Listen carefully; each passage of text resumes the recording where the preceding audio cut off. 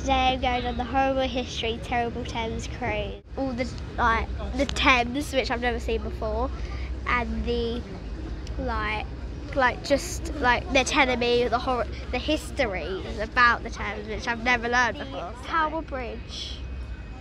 And how far down the Thames do you think we're going to go? How many miles? I don't know. I'm gonna guess about like five.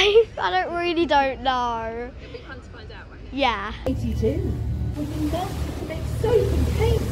Parts of Reynolds House were used to hold women's skirts and underwear. And didn't the government try and stop it? The government gave extra money to companies to bring more whales, so where... Part of the adventure. Chariots along and we'll all hang on behind. What's a nice sea shanty, Billy? Um, I just went on the Horrible History Terrible Thames River tour. And what did you think of it? I loved it. It was funny. Was it? Um, I just, I just loved it. And I liked learning about the Thames and what happened. Um, what was funny about it? Um, they kept saying like bottoms and stuff. So yeah, that's how it made it funny. They, they were just making me laugh. Can you remember how many bridges we went under? Probably, probably about like five, like maybe more. Yeah. I didn't really keep count, but there were quite a few. Can you remember what made you laugh the most?